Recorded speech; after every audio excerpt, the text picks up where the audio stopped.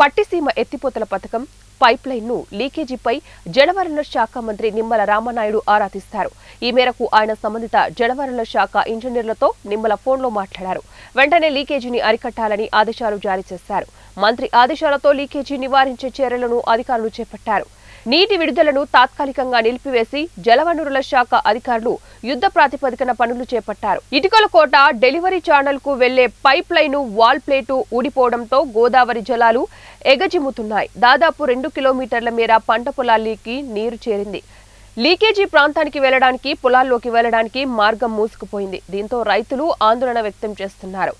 కాగా పట్టిసీమ ఎత్తిపోతల పథకం నుంచి రెండు వేల ఎనిమిది వందల క్యూసెక్ల గోదావరి జలాలు పోలవరం ప్రాజెక్టు కుడి కాలువకు తాజాగా విడుదల చేయడం జరిగింది. పట్టిసీమ వద్ద గోదావరి నీటి మట్టం పద్నాలుగు పాయింట్ ఏడు నాలుగు మీటర్లకు పైబడి ఉండటంతో ఉన్నతాధికారుల ఆదేశాల మేరకు ఎనిమిది పంపులు ఎనిమిది మోటార్ల ద్వారా నీటి పంపిణీ చేశారు. ఈ కార్యక్రమంలోనే పైప్ లైన్ లీకేజీ జరిగింది.